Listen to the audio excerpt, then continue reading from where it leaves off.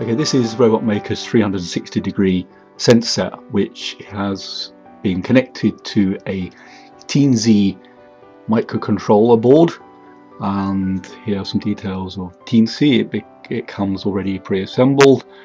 And uh, all I do is connect the 5 volt, the ground and two pins for the serial interface.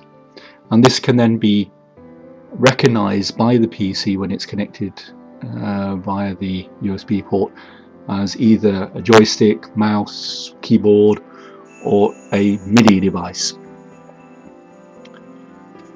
And there you can see it connected on the back there with the four cables. The Teensy can be programmed via the Arduino development environment, uh, which is basically a text editor for writing code. Uh, the programs which are written are known as sketches and these are then uh, downloaded into the Teensy microcontroller using the uh, Arduino development environment.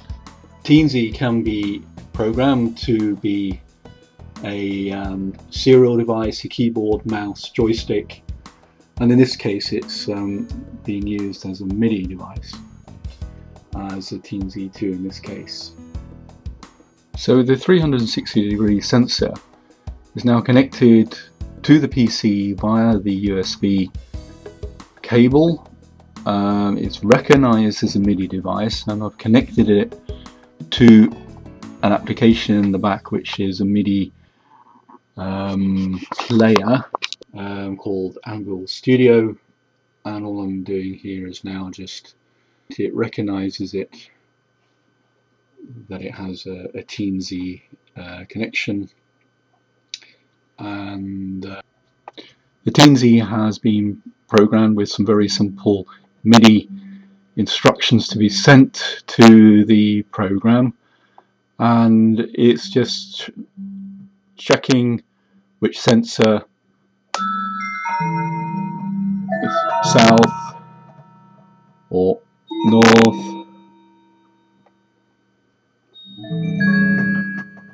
and depending on how close I am the louder it gets or which direction the notes change.